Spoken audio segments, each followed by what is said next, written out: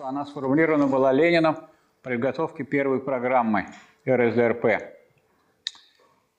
в 1903 году. И эта же цель воспроизведена во второй программе партии в 1919 году. Программа РКПБ, Российской коммунистической партии большевиков. И эта же цель выброшена из программы КПСС 1961 году. И с ней связана ликвидация социализма. Ну, понятно, цель другая, другой строй. И записано было следующее, еще в 1903 году, и потом повторялось. Вот, скажем, Сталин довольно долго был руководителем государства. Ему в голову не приходило поменять цель производства. Производство при социализме идется с целью обеспечения полного благосостояния и свободного всестороннего развития всех членов общества. Обеспечение полного благосостояния, потому что вот благосостояние может быть, а человек деградирует. Потому что э, обеспечение благосостояния – это создание условий для развития. А надо поставить целью не только создание условий для развития, но и само развитие всех членов общества. Поэтому и развитие не отдельных членов общества, а именно всех членов общества. Тогда это будет цель производства. И цель производства единая и для низшей фазы коммунизма, и для высшей фазы коммунизма.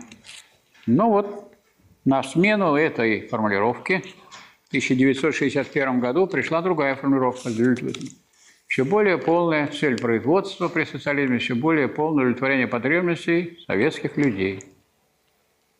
Советские люди выпивают? Ну, пусть все больше пьют. Курят? Я видел, как вы курили. Никита Сергеевич вам посоветовал бы больше курить, все более полное удовлетворение растущих потребностей. Так что вы подпадаете под формулировку 22-го съезда.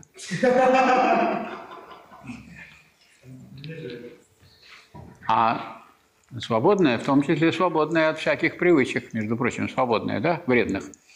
Свободная, всестороннее, а не ущербное, не одностороннее какое-то. Развитие всех членов общества, а не некоторых. Один товарищ со мной встречался, профсоюзник с Урала. Я ему на прощание говорю, ну вы э, имейте в виду, что он, коммунизм у нас уже люди заходят по отдельности и в разное время. Вот Абрамович зашел.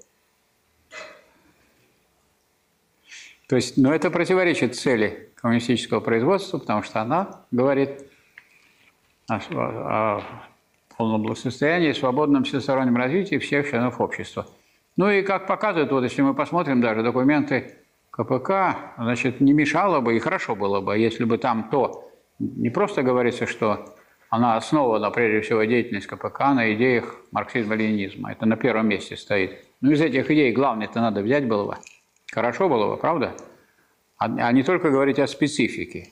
Вот если э, вот, э, говорить о том, что вот есть рыба, есть другие животные, есть люди, вот. ну, можно о людях говорить, а можно говорить просто вот о любых животных. То есть как-то нужно понимать, что э, закон это социализма и коммунизма, и строительства, они едины. А специфика всегда есть она. Без специфики не бывает.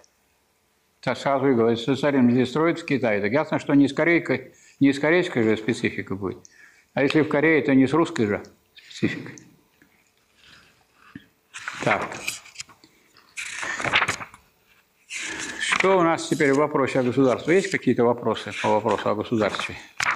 Что здесь непонятно? Или все тут понятно? А скажите, пожалуйста, вот, э, определение Энгельса о военной демократии. Военная демократия – это тоже часть? О чем? Военная демократия. О военной демократии?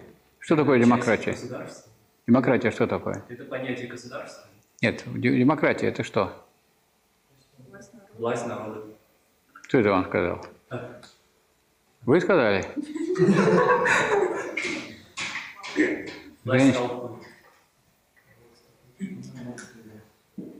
Нет. Демократия – это форма государства.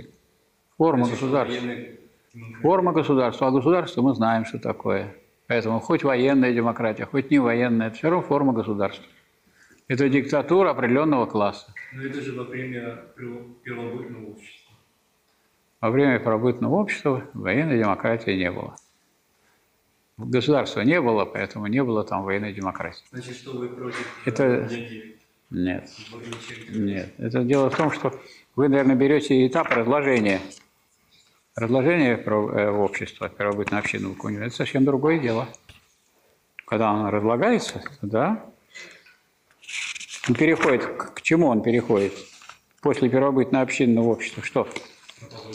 Рабовладельческое. Вот, значит, на переходе что мы имеем? Вот разные всякие формы этого перехода. Вот эти формы перехода, они могут называться становлением рабовладения или становлением рабовладельческого государства. То есть, скажем, военная демократия как форма становления рабовладельческого государства. Все. Не готовы, а? А еще военная демократия, она же была у франков при переходе после нападения Римской империи, и они потом перешли к феодализму. Ну, тогда, она, тогда опять получается. То есть, ну, всякая демократия, она классовая же. Поэтому не- это военная демократия какого класса уже? Того класса не было. Рабовладельцев уже нет, значит, другая. То есть военная. А военные всех, в чьих интересах действуют?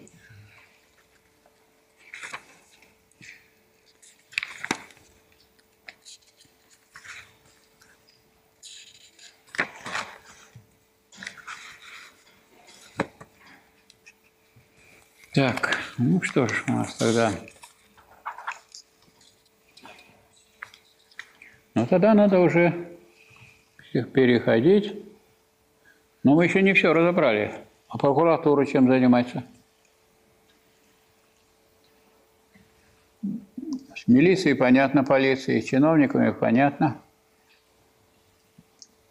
Так, законодательные органы, исполнительные, с этим тоже, я думаю, понятно, да? Законодательные и исполнительные. А вот для всех государств э, практика разделения властей характерна или не для всех? Не для всех. Для советского государства это не характерная практика.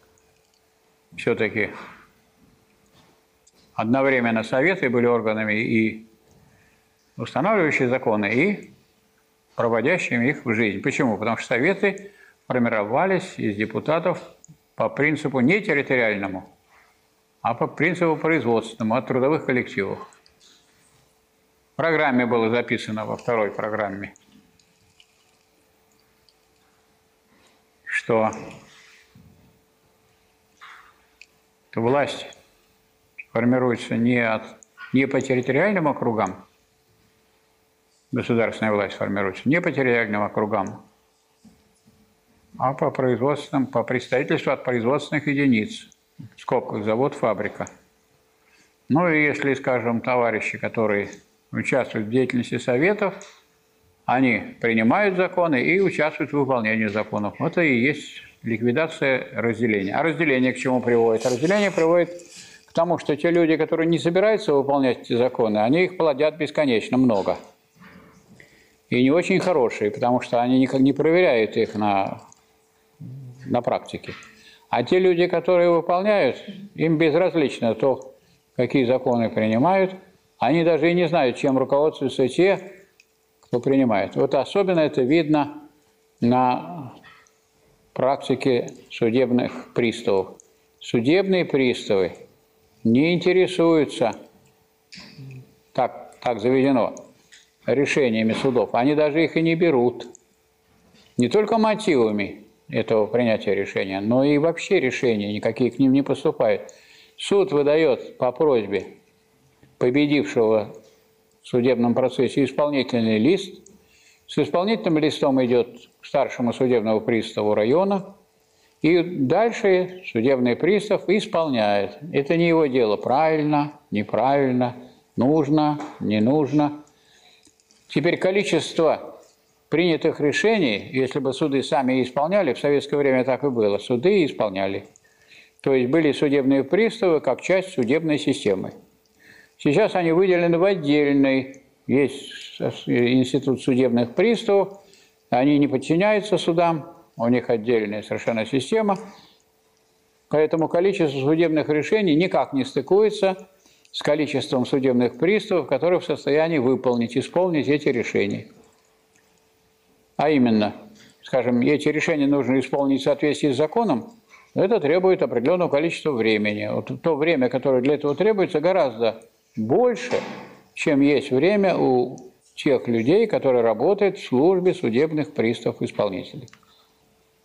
Я это знаю, потому что ну, участвовал в создании профсоюза судебных приставов в Санкт-Петербурге и знаю, что самым главным требованием профсоюза судебных приставов исполнителей было применение, э, приведение в порядок нормы, трудовой нормы, сколько часов требуется на одно исполнительное производство, потому что число исполнительных производств таково, что все их выполнить нельзя. А что из этого может следовать? Вы приходите и спрашиваете, как Э, как бы выполнить вот ваш исполнительный лист. Но я все же не могу, у меня вот их такая пачка. А вы думаете, как сделать, чтобы я ваше именно выполнял? Не придумали? Идите домой. Кто придумал, зайдите ко мне в ту комнату. То есть это тоже почва для чего? Для той же самой коррупции. Так, вот понятно, чем занимается судебный пристав. А чем занимается система исполнения наказаний, тоже понятно. А вот чем занимается прокуратура, кто-нибудь может сказать? Следит за всеми. А? Следит за всеми другими государственными органами, чтобы они не нарушали закон. Следили, следить, слежка такая. А что, они сыщики, что ли? Контролирует. Контролировать. Чтобы они не нарушали. Ну, можно так сказать. Но вообще, строго говоря, не совсем так. Это прокуратура осуществляет контроль за единообразным исполнением законов во всех сферах. Единообразно, чтобы не трактовали в разных сферах по своему закону. Не, все должны следить за исполнением законов, по идее, правда? Прежде всего, это для этого и есть исполнительная власть, правильно? Для этого есть. Прокуратура будет за За единообразным исполнением закона. За единообразным, чтобы не получилось, что здесь так трактуют, а там так трактуют. А если в трактовке кто-нибудь там сомневается, он может обратиться куда? В Конституционный суд. Если речь идет о трактовке закона, понимании закона, что вот он считает, что этот закон не соответствует Конституции, тогда он должен обращаться Конституционный суд. Хорошо, ну вот теперь политика. Следующая тема – политика. Что такое политика? Кто, кто-нибудь может сказать, что такое политика? Комплекс действий, направленный на... Комплекс чего? Комплекс действий государственной власти, направленный на обеспечение интересов правящего класса. Так думаете? А что, у подчиненного класса нет политики? И, ну только что, тогда ваше определение не годится тогда. Не правящего, а определенного. Тогда что это? Действий, на обеспечение интересов класса. Вы не работали ни в каких органах, там, где много бумаг пишут? Нет? А такое впечатление, что работали. Ну, как-то, как-то, где такой это скучный такой язык у вас в этом смысле? Ну, что это такое? Комплекс действий. У вас искусство управления государством. искусство. То есть науки никакой тут нету. Понял. Понял. И нечего нам это изучать. Потому что это раз искусство, значит, если вы владеете, так владеете. Если они владеют, так и не владеют. Что об этом говорить? Кто умеет, тот знает. А кто не умеет, ему и нечего и знать. Искусство. Здорово.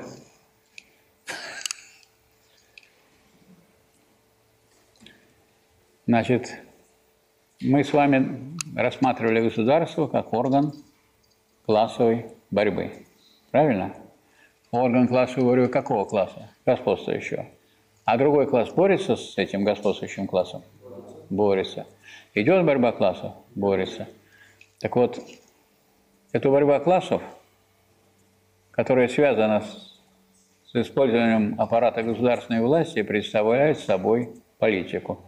Значит, политика – это классовая борьба, классовая борьба за завоевание, удержание и осуществление государственной власти. Политика есть классовая борьба за завоевание, удержание и осуществление государственной власти.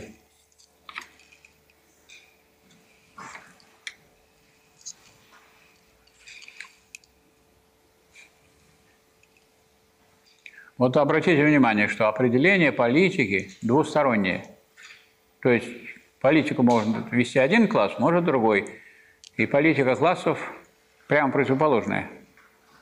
Но, во-первых, они в единстве находятся, они же в борьбе, а борьба – это то, что связано с противоречием. А противоречие имеет не только, единство, не только различия противоположных сторон, но и единство. Поэтому не может быть такая отстраненная политика, не связанная с борьбой с противоположным классом. И вот э, эти две стороны противоречия, они не одинаковые. Господствующий класс одну задачу уже решил в политике, правильно? Какую? У него государственная власть есть в руках. Он обладает государственной властью, его задача теперь в чем состоит?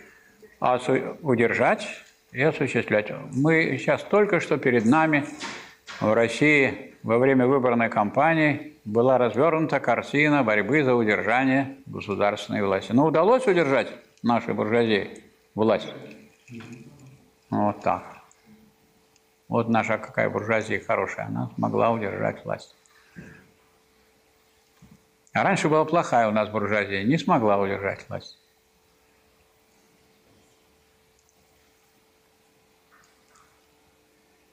А другой класс? А другой класс, у него тройная задача.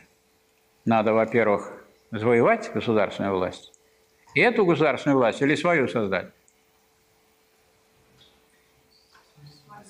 Свою, потому что, потому что, вот как выяснили Маркс и Энгельс давно, нельзя просто захватить государство и пустить ее, его в ход для своих целей. То есть надо, как они говорят, разбить, уничтожить, разрушить этот государственный аппарат и создать иной, приспособленный для тех целей, которые ставит перед собой эксплуатируемый класс. Ну вот, дальше этого не продвинулись Маркс и Энгельс. Хотя вот э, была Парижская коммуна, но Парижская коммуна была в одном городе, и такие формы, которые открыла советская революция, она еще не дала. А советская революция открыла новую форму или форму, универсальную форму диктатуры рабочего класса. А именно, не просто выборы по территориальным округам, а выборы по производственным единицам, по фабрикам и заводам. Изначально – Советы появились в городе Иваново в 1905 году по представительству от стачечных комитетов. Не от таких каких-то органов, которые не имеют никакой силы, а стачные комитеты могут остановить производство на своем заводе. В любой момент. Поэтому вот эти органы, которые были созданы по представительству от стачечных комитетов различных заводов, и образовали такие органы. И таких органов, таких советов было довольно много. 17 советов было в пятом году создано, 17 штук.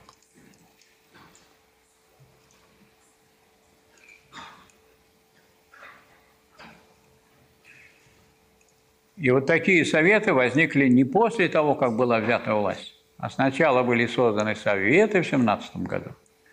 Потом в этих советах шла внутренняя борьба, и эта борьба с легкостью могла идти по той простой причине, что раз советы от предприятий, то если предприятие меняет свою позицию, они отзывают своих депутатов и направляют новых.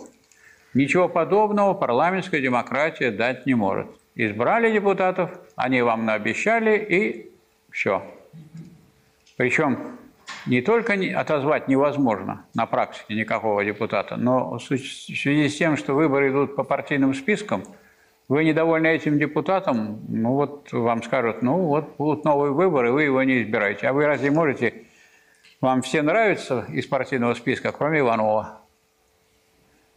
И как вы можете удалить из партийного списка Иванова? Никак.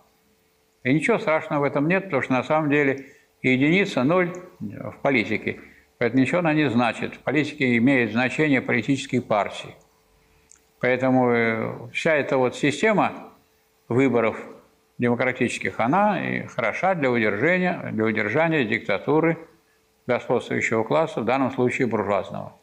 А если вы хотите, чтобы у вас была диктатура пролетариата, так вот вам надо обеспечить контроль за своими представителями, а контроль – пустое дело, если я не могу вас отозвать. Вот если я могу вас в любой день отозвать из числа депутатов, это контроль. Но я могу с вами поговорить, а вы должны пообещать, а я должен спросить, а вы не выполняете. Что мы делаем?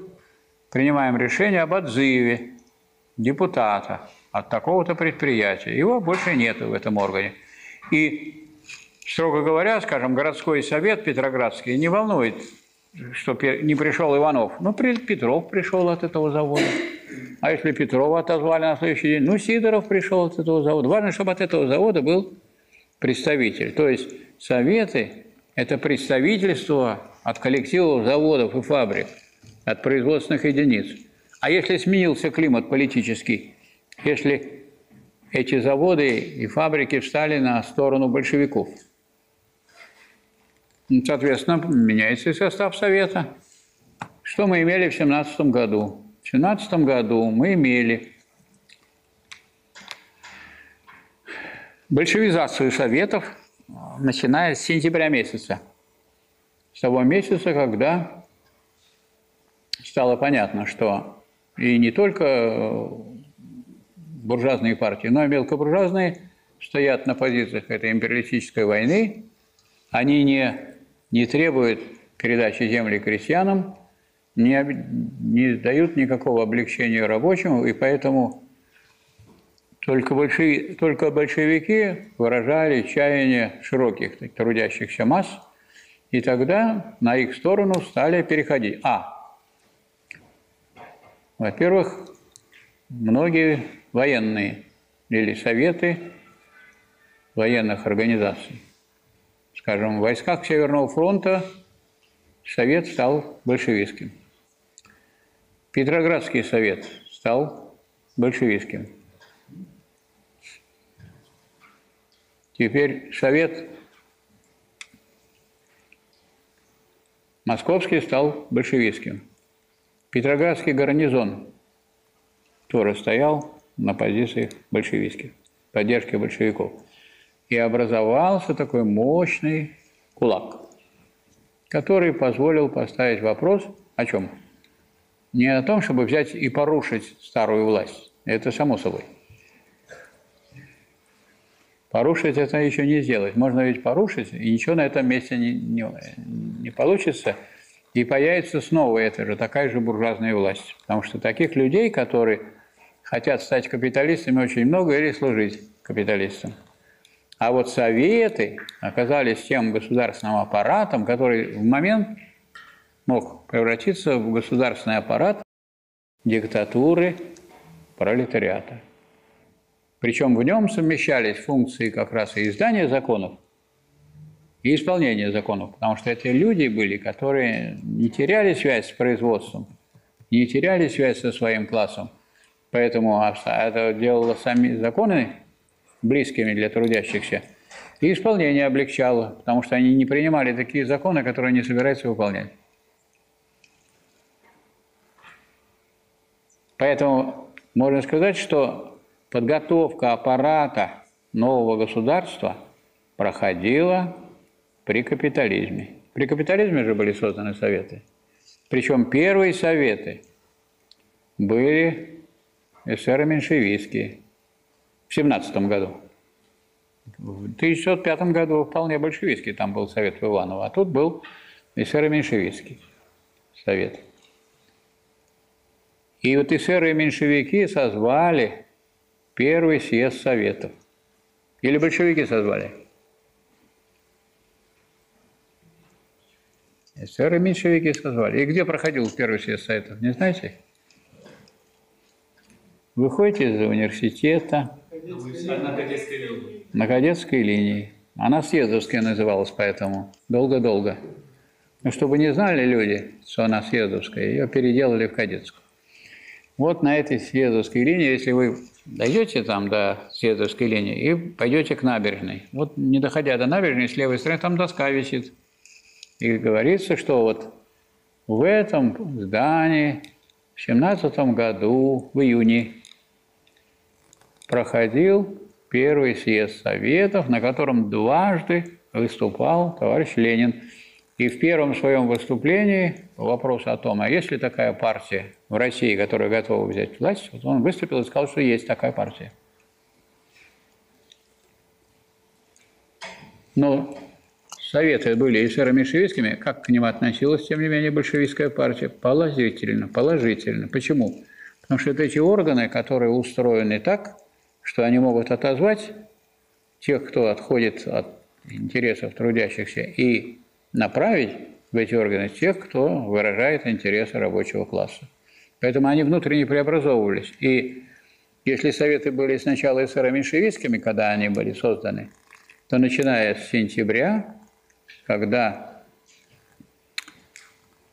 во время Корниловского мятежа единственной силой, которая решительно выступила против контрреволюции, оказались красногвардейцы, направленные большевиками. Большевики создали Красную гвардию, и после этого авторитет большевиков, как единственных спасителей революции, резко вырос. Кроме того, это единственная партия, которая обеспечивала и пообещала крестьянам землю, если она придет к власти. Весь вопрос был в том теперь, что будет за революция. Или сначала будет вот советы, советы бы приняли решение, что надо не изложить допустим, Временное правительство. Вообще это не факт, что они бы приняли такое решение. Советы. Совет – это такой орган, который так сказать, сразу такие решения быстрые может и не принять. А могло получиться так, что решение он принял, люди разъехались, а после этого установилась такая власть, когда уже никакие съезды советов больше не соберутся. С другой стороны, если бы большой Петроградский совет – взял власть, а он был в состоянии взять власть. Почему? Потому что в войсках Северного фронта поддержка, потому что, потому что Петроградский гарнизон поддерживает, соответственно, Петроградский совет может тут управлять в городе, а силой Временного правительства сводится к женскому батальону и юнкеров группка с которыми воевать нечего, они не способны против... Ну, как вы можете представлять себе войну между Петроградским гарнизоном и женским батальоном? Или юнкерами еще. Несерьезно. Поэтому никакой войны и не было. Поэтому если вы начнете искать жертвы, где похоронены жертвы Октябрьской революции, то, в общем-то, вы не найдете. С одной стороны, есть кладбище большое на Марсовом поле, это жертвы буржуазной революции. Там более тысячи человек похоронено. А где похоронены жертвы Октябрьской революции? Я вот знаю, например, три могилы, которые в парке лесотехнической академии. Наверное, кто-то стрельнул. Но это гораздо меньше, чем у нас каждый день гибнет в дорожно-транспортных происшествиях. Поэтому, конечно, надо такую революцию, как Октябрьскую, считать мирной революцией. Это во-первых. Во-вторых, а что касается гражданской войны, то ее всегда открывают не те, кто завоевали власть, а те, кто потеряли власть. Ну, если я власть завоевал, мне нужна гражданская война? Ну, я уже все забрал. Зачем мне гражданская война? Я вот теперь вами буду управлять, а вы не хотите, чтобы я вами управлять. Вы тогда поднимаете гражданскую войну пытаетесь у меня обратно власть отобрать. Правильно? Поэтому всякая гражданская война после революции, она устраивается теми, кто власть теряет. И удивляться этому, и Ленин не удивлялся, что люди, которые имели в руках все богатства, и вдруг они их потеряли, чтобы они не предприняли никаких попыток к возврату этих богатств, такого не может быть. И помещики, и капиталисты, конечно, прибегли ко всем средствам, чтобы отобрать власть назад. Но сила-то как раз советов было, что не надо было ехать куда-то в другой край, огромной России, и говорить, что вот создавайте там такие-то органы. Достаточно было сказать, что создавайте советы по представительству от фабрик и заводов или других производственных предприятий. И этим советам принадлежит в России вся власть. Не знаю, ни фамилии не знали, ни имени. Во всех городах и весях огромной России, самой большой страны мира. У нас все равно самая большая страна. Вы скажете, что люди ценнее, чем территория. А я не спорю.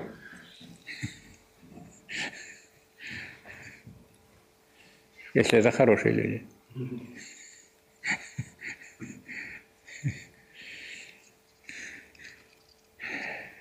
Ну вот. Ну и вот э, так получилось, что если Маркс и Энгельс говорили, что надо сломать государственный аппарат, они не знали, как будет устроено государство, то вот народ в России, рабочий класс России открыл. Открыл новые органы или естественный аппарат новой власти. Потому что если буржуазия создает себе парламентскую систему, которая ей гарантирует при всех выборах победу, потому что на площадях и улицах деньги решают все. То если речь идет о власти от фабрик и заводов, то здесь, конечно, решают сами трудящиеся, сами рабочие. Поэтому вот в этом, э, можно сказать, состоит устройство диктатуры пролетариата. И диктатура пролетариата и советская власть относятся так, что советская власть – это форма диктатуры пролетариата, а диктатура пролетариата – это сущность советской власти. И для прочности революции, для прочности революции очень важно это великое завоевание усвоить. К сожалению, я мог бы сказать, что вот китайские товарищи плохо это усвоили. Но я мог бы сказать и другое, что это плохо усвоил даже товарищ Сталин. И советские товарищи это плохо усвоили, потому что они под советской властью понимали власть, больше понимали власть коммунистической партии, и забыли, что советская власть – это органы, которые формируются по фабрикам и заводам.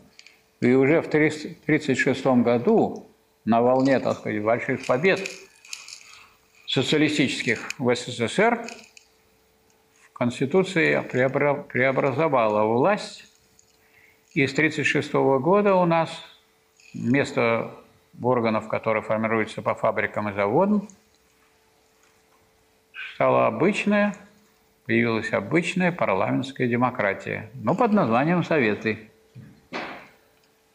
А что, а что обычно? А в том, что по территориям стали выбирать. А по территориям избирать можно, а отозвать невозможно. Невозможно отозвать, потому что появлялись большие округа, и выборы шли прямо, напрямую, и это характеризовали как великое достижение демократии – что у нас прямая демократия, что вот человек может прямо взять и избрать кого-то в Верховный Совет. Может избрать, да. Вы можете хоть на Луну избрать. А можете вы отозвать из Верховного Совета? Нет. Ну как вы можете? Вы, как вы себе представляете? Вы можете собрать всех, кто в вашем подъезде живет? Я могу. Дайте автомат, и я соберу. Другого способа нету. Как вы думаете, вот избранные управляющие компании в жилконторах, кто-нибудь на самом деле где-то были собрания, нигде их не было. Пришли, прошла тетенька с листочком. Подпишитесь, что вы согласны за Иванова, управляющую компанию. И вы подпишитесь, подпишитесь. Ну, можете сами ходить. Не хотите, подпишитесь. Так прошли, подписали. То есть никаких собраний не было, никакой этой демократии не было. Просто появились управляющие компании, как некоторый посредник между жильцами и теми, кто с них трясет деньги, ну и часть этих денег попадает в карманы этих управляющих компаний. Вот и все. И это все, в общем, знают, и никакого выхода отсюда нет. Поэтому это доведенное до э, самого низа, это вот система избирания по территории, по территории, по жильцам, от населения, а не от трудящихся. А советы – это органы, которые образуются по представительству от коллективов. Ну вот я не знаю, как в Китае, может быть, в Китае есть какие-то начала этого избрания от коллективов трудовых, но пока вот я свидетельств не знаю. В Корее я был в Северной, там этого нет. Поэтому это все ставит, эту власть, про которую говорят, она просуществует тысячу лет, это ставит ее под большой вопрос, потому что при, если нет отзыва, вот то, о чем вы говорили, то есть, может быть, есть поколение, потом дети этих людей, потом дети этих детей, и э, власть может перерождаться. Единственной гарантией от перерождения является не просто участие, а еще возможность отозвать. От того, что я участвую и вижу, что вы занимаетесь не тем, но не могу это никак отозвать, это значит, что э, это ущербное демократическое право. Настоящая демократия имеется тогда, когда я не только избирать могу, но могу отозвать. Вы мне наобещали стрекорба, я за вас проголосовал. Вы пришли и стали накачивать себе деньги в карманы, в мешки и закладывать. А я вас критикую, критикую, критикую. А вы даже разрешаете критиковать, пусть критикует. Продолжайте. Да, да, вы правы, так сказать. Да, хорошо. Поэтому у нас с 1936 года примерно до 86 до времени Горбачева. Сколько прошло лет? 50. Если 50 лет никого нельзя отозвать из всей системы, из всего государственного аппарата, никого невозможно отозвать, никого. Значит, что происходит с этим государственным аппаратом? Он заражается теми людьми, которые не просто имеют такие свойства, как бюрократизм, карьеризм, ведомство. Это люди, которые уже ориентируются не на тех, кому они должны служить, а на самих себя, на свои личные интересы. И это подтвердила история вот контрреволюции в СССР вполне. И куда люди пошли, которые стоят на верхних э, рычагах государственной власти стояли? Они что, их в тюрьму посадила буржуазия, да? Нет, из нее и выросла буржуазия, из этих людей. А вот там секретари обкомов, они в банки пошли а директора предприятия, они стали предпринимателями. Я это очень хорошо знаю, потому что я в 1990 году был э, членом Ленинградского обкома КПСС, здесь я остался профессором. Это вот были на общественных началах, разумеется, я не был в партийном аппарате. Но я имел право голоса, был э, членом областного комитета партии, и я поставил вопрос – о, о том, об исключении из партии Горбачева и его фракции, проводящей антинародную, антикоммунистическую политику. Как только я поставил вопрос, я увидел, что 17 человек из 200 проголосовало только за мое предложение. А все остальные, я их тоже увидел потом, они все где-нибудь разместились. В банках, на предприятиях и так далее. Я, они со мной знакомы и здороваются, я тоже с ними знаком и здоров. Но я знаю, где они были и где они находились. То есть это не те люди, которые в такое тяжелое время пошли значит, к рабочему классу, стали организовывать борьбу против приходящей буржуазии. Нет, они, они составили эти самые элементы буржуазии. Самый, что ни на есть, ее слой. Это во-первых. Во-вторых, никто во время нашей контрреволюции демократы ни одного коммуниста пальцем не тронули. Хочу вам доложить. То есть пусть не рассказывает, какая была страшная Она была страшной для народа, а для них не страшная. Они переставали быть коммунистами, как бы существо у них уже было не коммунистическое. Они давно уже выбросили диктатуру пролетариата, уже не только прятали, а вообще ее выбросили. И после этого После этого они просто больше не одевали эту одежду и показали свое существо. И мы получили буржуазную диктатуру, причем прекрасно эту буржуазную диктатуру осуществляли. С одной стороны, генеральный секретарь Коммунистической партии Советского Союза Горбачев, потом гражданин Ельцин, который был сначала секретарем Свердловского обкома партии, а потом секретарем Московского городского комитета партии. Поэтому это вот те люди, которые изменили тому, чему присягали. И, так сказать, остается загадка, это что, они передумали? Или они просто имели изначально другие намерения, а эту личину свою долго скрывали? Последнее, скорее. Поэтому никакого у них преобразования такого не было. А они превратились потом... Никакого преследования не было за коммунистическую деятельность. Почему? Да потому что эти вот люди, которые осуществляли у нас диктатуру буржуазии, они были в партийном государственном аппарате. Поэтому не то, чтобы они оттуда убежали, но они пересели как вороны на... Когда их шумнешь, они, так сказать, полетают, полетают, и на другие ветки сядут. Они сели на другие ветки, и стала другая структура этой власти там. Вот так теперь это оформлено, и все. Пусть не рассказывают, как их преследовали. Никто их не преследовал. Буржуазия не преследовала никаких таких деятелей, которые находились в коммунистической партии на руководящих постах. Все они на самых первых ролях и стояли. Скажем, советники э, в некоторых банках – это бывшие секретари обкома. А директор, например, университета марксизма-ленизма стал одним из учредителей Талион-клуба. А там, где сейчас Талион-клуб, вот там как раз был университет марксизма-ленизма и отделение рабочего актива, где я преподавал. Так что я заведовал кафедрой научного коммунизма в университете марксизма-ленизма. Я их всех знаю хорошо. А вот ваш декан, директор ныне, заведовал кафедрой международных отношений в университете марксизма-ленинизма Ленинградского обкома партии. Мы с ним, так сказать, коллеги. Так что у нас вот такие преобразования прошли, такие очень незаметные.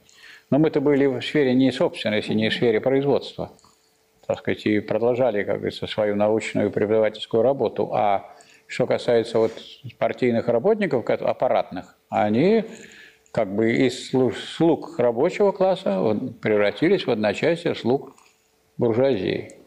Это и называется переворот контрреволюционный. Вот. Никаких жертв тут не было, никто ни в кого не стрелял. А, например, товарищ Белов, который считается идеологом КПРФ, тогда имел, он был секретарем обкома, и он открыл и впустил Старовойтова в Сумольне, а мог бы не открывать. Вот мы, например, три комнаты держали, «Народная правда» в э, доме политпросвещения, мы туда никого и не пустили в эти комнаты. И нас все обтекли. Попытались сунуться, а мы никого и не пустили. Ну, не пустили, а бить не принято было бить. Никто никого не трогал. Пусть не рассказывает страсти. Никаких страстей таких не было вот в этот период. А перерождение было. То есть вопрос об устройстве вот этой диктатуры пролетариата, об устройстве государства, каким оно будет, либо это будет государство такого же типа, как парламентское, и тогда а такие именно государства были во всей Европе, вот где рухнуло быстрее всего все. Что удерживает, так сказать, от обрушения в таких странах, как Китай, Вьетнам, Корея. Дело в том, что там был так называемый азиатский способ производства. Даже при частной собственности государственная власть должна была выполнять функции ирригационные, обеспечивать условия для производства риса – а для этого нужно, нельзя производить рис на одном только участке. Надо иметь каналы, надо иметь систему подачи воды, а это дело государственное, поэтому даже какие-нибудь мандарины должны были этим заниматься, а не только значит, лежать отдыхать, и, сказать, есть, и пировать. Поэтому так вот, как могло получиться в России, так вот там, там труднее сломать коллективистские такие начала, которые там есть. Это с одной стороны. А с другой стороны – и китайским, и корейским, и вьетнамским товарищам необходимо было бы принять на вооружение тот опыт, который был у советской России, который растеряли товарищи уже в 1936 году. У нас, если брать, например, одну Нижегородскую область, 1935 году по Нижегородской области было отозвано 300 депутатов. 300. А начиная с 1936 ни одного. Как вы будете отзывать? Сразу идет Верховный Совет. А почему можно было отозвать? Потому что шли выборы в Советы, в городской совет, и городские депутаты могут быть отозваны. Вот сегодня ваша там конференция вашего предприятия собирается и отзывает. И вместо Иванова идет Петров. А вторая ступень – это представители городских советов делегируются на съезд советов, который вот, вот сам он собирался тогда, в 17 году. То есть это не способ такой, что кто-то там сидит и организационный отдел какого-то обкома или ЦК эти вопросы решать. Нет. Собрались до городского уровня. Это можно сделать? Сами, по своей инициативе. А с городского уровня избрали своего представителя и собрались в Москве или в Петрограде, в Ленинграде.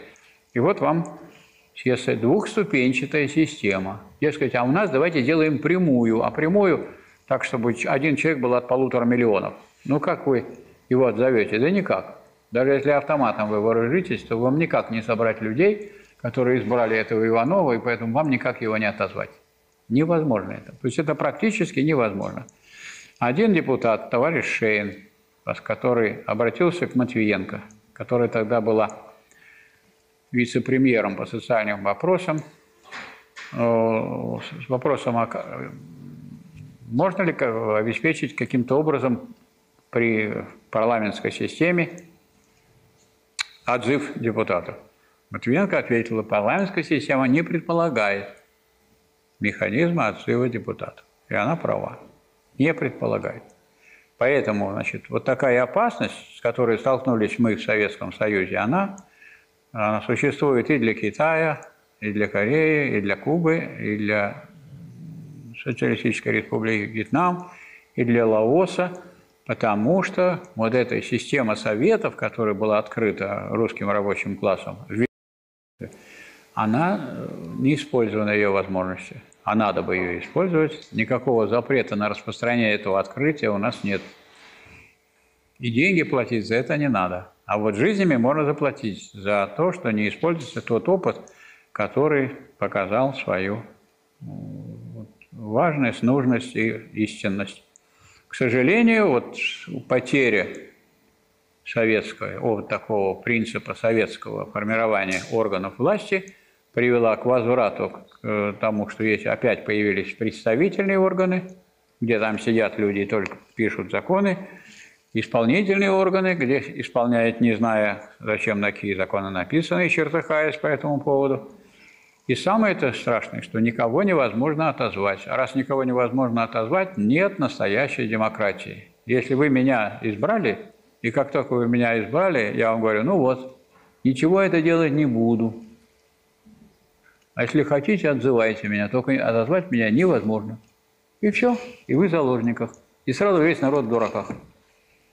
Поэтому вот эти все выборы, хоть собрание представителей, хоть все китайское, хоть все вьетнамское, хоть все корейское и так далее, если они не предполагают делегирование от предприятия и не дают вот этой ступенчатости, при которой снизу можно это построить, а не только сверху. А сверху, понятно, у нас сидел человек в орг-отделе обкома и считал, женщин должно быть столько, молодых вот столько, рабочих вот столько, крестьян вот столько.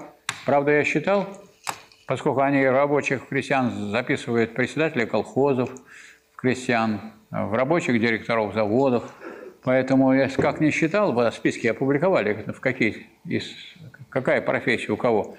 Никак не получалось больше половины. То же самое внутри партии.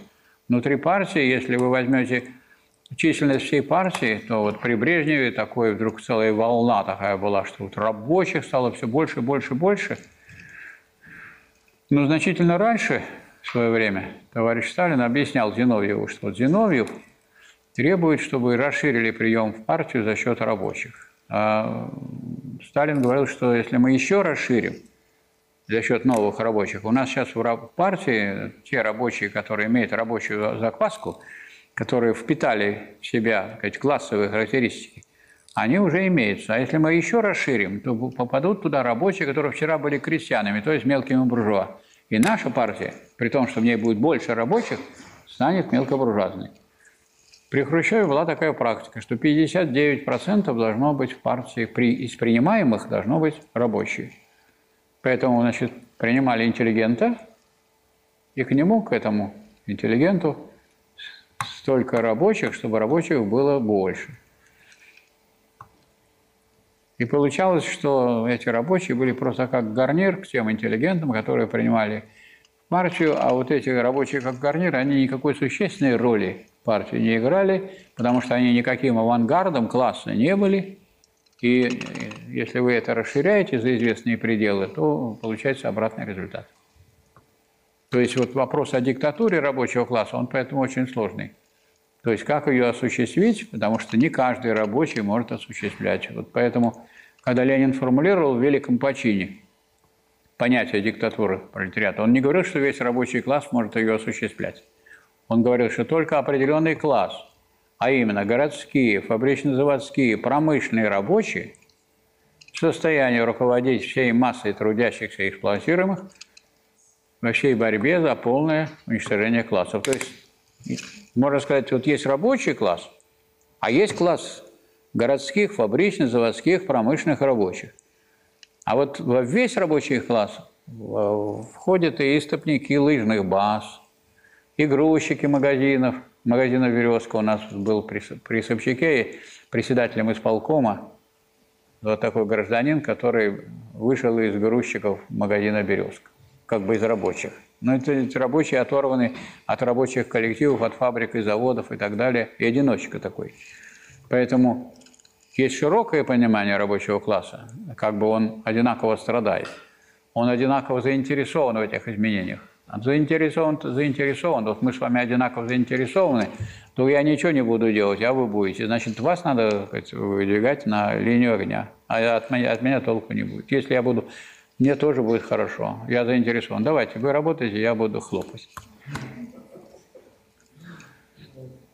Поэтому мы прекрасно понимаем, что строительные рабочие вот в эту группу, о которой выделил Ленин, не входят. У нас строительные рабочие гастарбайтеры сплошь и рядом. Они не связаны с рабочим классом в целом. Они отсталыми являются, в смысле. Они, они готовы работать за любые деньги при любых нарушениях. Если их ударило чем-то или они упали, их вынесут за пределы стройплощадки, и поскольку их не оформили, никто не скажет, что они отсюда. Это случайно шел человек здесь и вот валяется теперь. Их как бы нету. Это вот помещик мог бы заботиться, если вот вы мои крепостные, а вы заболели. Это я же от этого страдаю, если вы заболели. Надо вас как-то подлечить. Ну, вы заболели. Ну, из Китая другой приедет. В чем проблема? Что такое? Зачем вас лечить? Пусть если там приедут, этого забирают и туда, пускай сюда приводят. Так у нас и получается. У нас же это не про Китай получается, но все равно Восток. То есть, пожалуйста, приедут из Узбекистана. Нет, из Киргизстана, из Кыргызстана приедут. Посмотрите, дворники уже в Ленинграде все. Как подметать, так это не русские. Так это кто-нибудь. А латыши едут куда? В Европу горшки мыть. 600 тысяч уехало из полутора миллионов латышских граждан. Скоро Латвия будет состоять из русских людей и, наверное, попросятся в Россию. Ну, уезжают латыши молодые и образованные.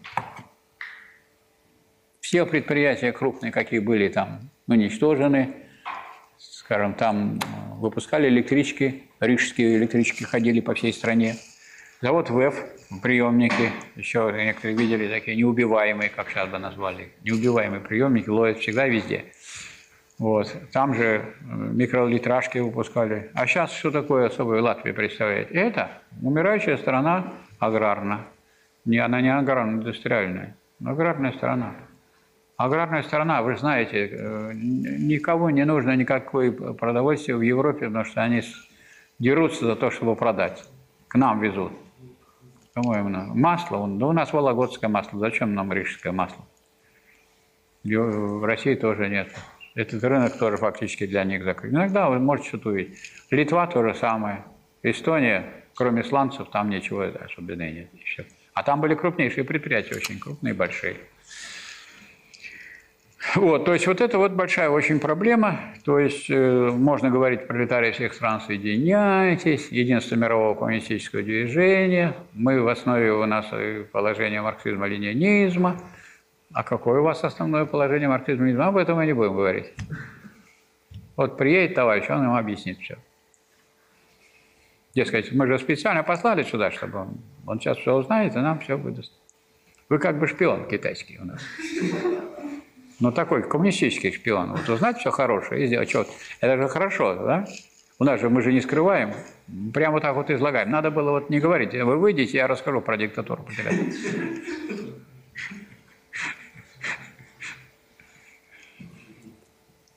То есть для нас, вот для России, для коммунистов России, это очень тяжелый опыт, потому что, как известно, разбитые армии хорошо учатся. Вы еще не разбиты, а мы уже разбиты. Мы не только побеждали, но и нас еще разбили. У нас опыт гораздо больше. У нас он гораздо более богатый. Мы не только знаем, что делать, но еще что и не надо делать. Вот что важно. Поэтому не надо во всем следовать нашим руководителям. Потому что наши руководители начали вилять и пошли потом не в ту сторону. И что они там понимают под главным марксизме-ленизме, это надо еще покопать теперь. Теперь и у вас надо даже выяснить, что. Я, например, встречался здесь с товарищами из Китая, которые к нам приезжают по линии научной. Они ничего там из Мао Цзэдуна ничего уже не знают. И вообще не очень даже знают, что такое Мао Цзэдун. И о революционной борьбе китайского народа тоже не ахти как знают. То есть разные люди приезжают сюда для разных целей. Тем более бизнес большой существует. И почему не приехать на экскурсию в Россию? И из России почему не поехать в Китай? У меня, между прочим, книга в Китае опубликована на китайском языке, поэтому у нас там очень тесные связи с китайскими товарищами. Математика в политэкономии. Моисеенко Попов. Так. Ну вот,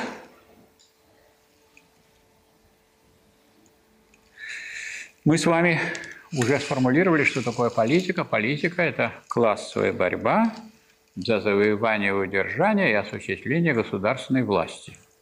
И вот это вот понятие такое глубокое можно с одной стороны рассматривать, можно с другой стороны рассматривать. Но в нем самая душа вот этого понимания политики – это что это классовая борьба. Хотя вы можете прочитать такие высказывания, в том числе у Ленина. Политика есть концентрированное выражение экономики. Это правильно? Правильно. Почему? Потому что эта борьба за что ведется? За экономические интересы. А раз за экономические интересы, то политика есть концентрированное выражение экономики. Буржуазия ведет свою борьбу за свои экономические интересы, рабочий класс ведет борьбу за свои экономические интересы. А мелкая буржуазия мечется между буржуазией и рабочим классом, поскольку она ведет борьбу и за то, и за другое. Потому что она и трудящийся, она и собственник – и поэтому одни примыкают к рабочему классу, другие примыкают к буржуазии, а потом они мечутся, перебегают от одного к другому. И это такая судьба мелкой буржуазии. Политика. Но вот если, скажем, есть такие люди, которые красивые слова говорят, которые для политики совсем э, не нужны, что, сказать, самое страшное – это равнодушные. Бойтесь равнодушных. Не, это не самый страшный. Равнодушные – это не противники. Это если мы взяли власть, равнодушные за нас. Если вы взяли власть, равнодушные за вас. Они же за вас будут голосовать, раз они равнодушные. Пошли и проголосовали. А если мы победили, за нас проголосуют. Поэтому есть же два таких выражения. Или кто не с нами, тот против нас. А должно быть по-другому. Кто не с нами, тот за нас. Ну, он не с нами, но он за нас же. То нам не враг. А зачем вы плодить врагов? Вы хотите победить, а для этого надо сказать, себе нажить врагов. Вам нужно много врагов? Обращайтесь, найдем.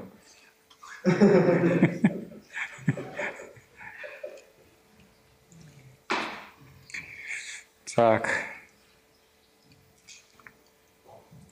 Мы говорили о том, значит, поскольку борьба ведется за экономические интересы классов, вот выражением чего и вот есть такое суждение, это суждение, это не определение политики, то э, понятно, что в зависимости от того, какие интересы прогрессивные, а какие реакционные, политика делится. Политика может прогрессивная, если это прогрессивные интересы, да?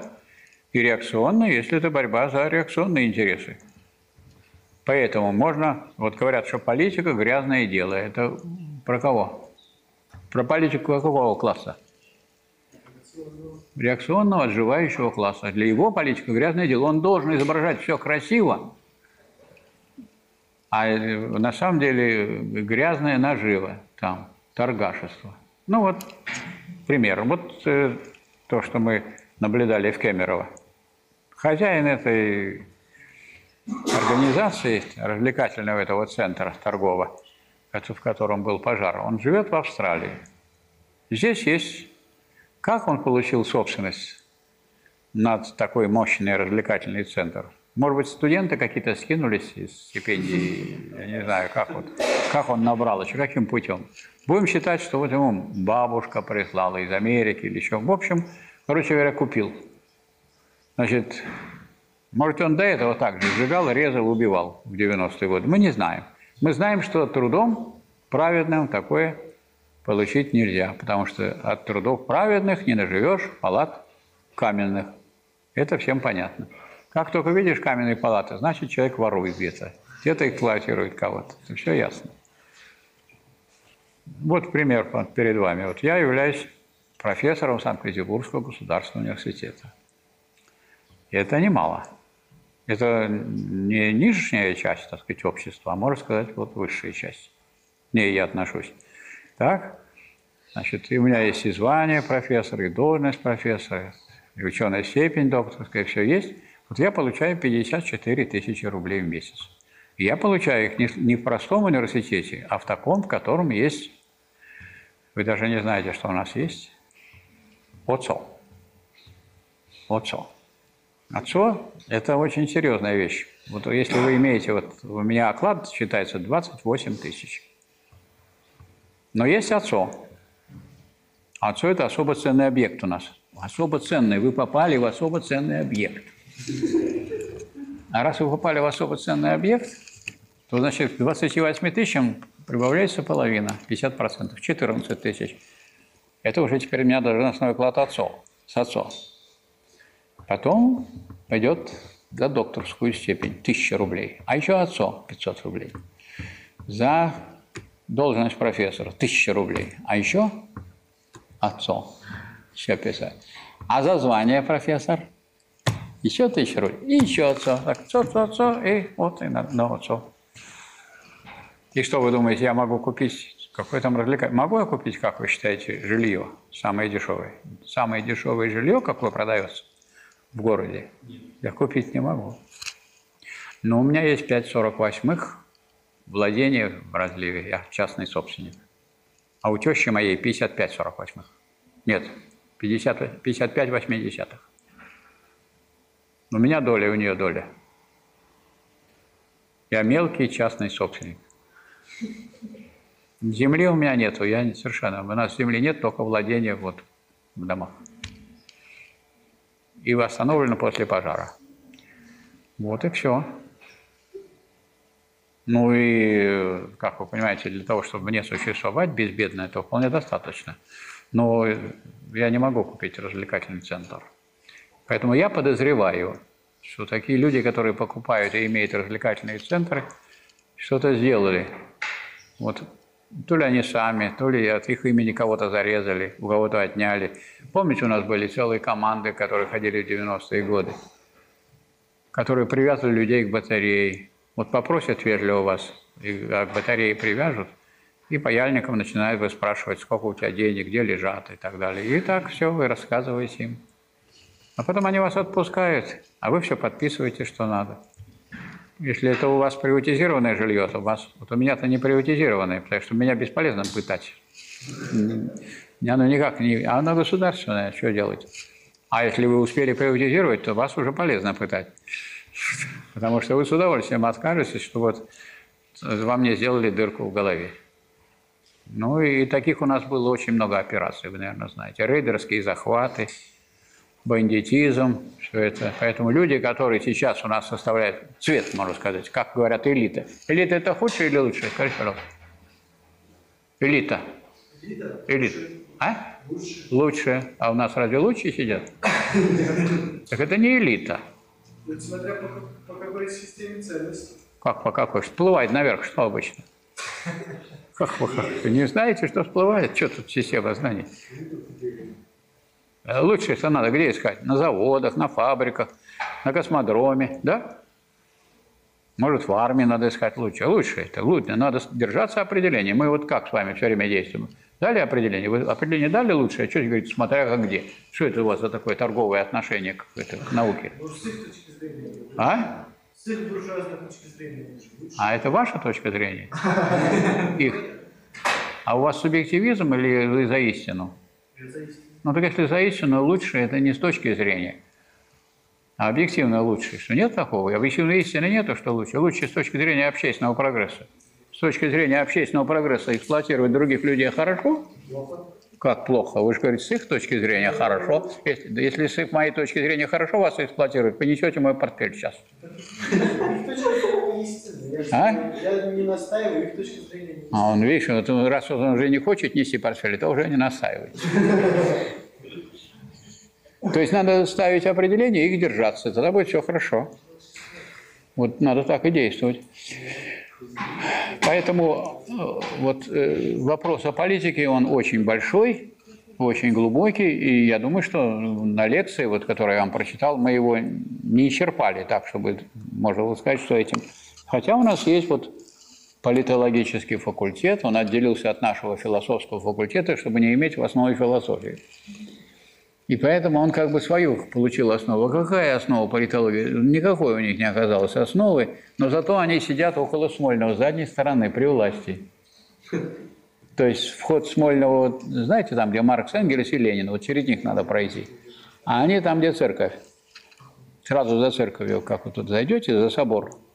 Вот там находится факультет. Там очень красиво. То не был, сходите, там такое, э, такая архитектура внутри изумительная. Но народ там очень здорово умеет говорить, научен говорить, а вот по содержанию, по содержанию не очень там. То есть глубины нет, потому что ну, глубина, вот философская глубина, предполагает владение чем? Всеобщим, всеобщими понятиями, которые мы сначала берем всеобщее, а потом начинаем их применять к более конкретным вещам.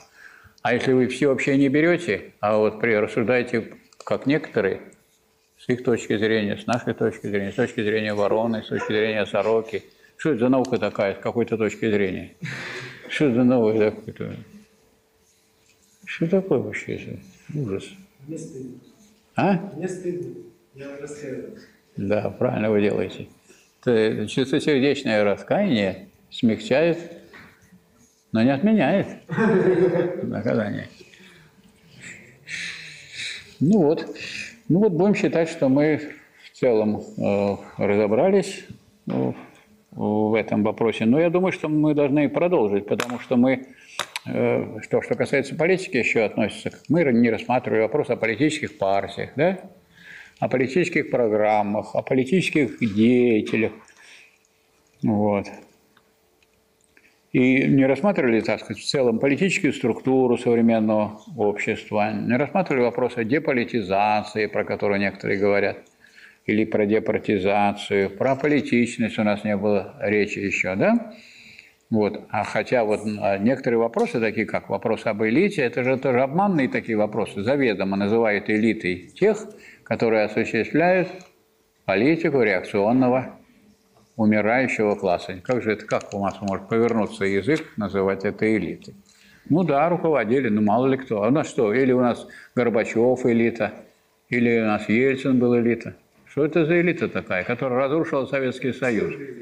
А? Нет, она не псевдо. Вот вы не можете сказать, что жулик – это псевдо, псевдо-честный человек. Это вы слишком мягко его изображаете. А он жулик. Также насчет элиты. Элита, элита – это самое лучшее. Элитное зерно – это самое лучшее, самое лучшее. И какие у вас основания говорить, что это самое лучшее, если они, что у нас смертность превышает рождаемость? И это что, самые лучшие пришли, руководство? Где это когда еще было, чтобы смертность у нас в России превышала рождаемость? А рост населения России за счет механического прироста, что мы русских, которые в других республиках принимаемы, они становятся гражданами, ну и граждан других республик, Киргизии и прочих, вот сюда становятся гражданами. Да, у нас прирост некоторые есть, но не за счет рождаемости. А что такое превышение смертности над рождаемостью? Это кто? Это элита организовала? Ну, ваша элита дает. Так, спасибо за внимание, успехов до следующего раза.